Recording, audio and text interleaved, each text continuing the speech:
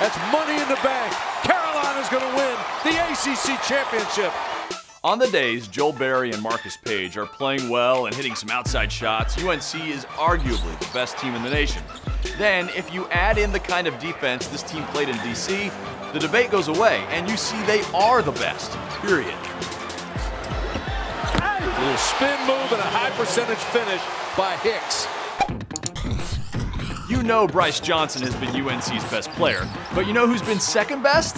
The analytics say backup big man Isaiah Hicks, but he's averaging fewer than 20 minutes a game. It helps to get home cooking the first weekend in Raleigh, but with the toughness this team showed in the ACC tournament, the path to the Final Four is irrelevant. They found what it takes to be a great team, and they'll maintain that level. I see the Tar Heels headed to Houston.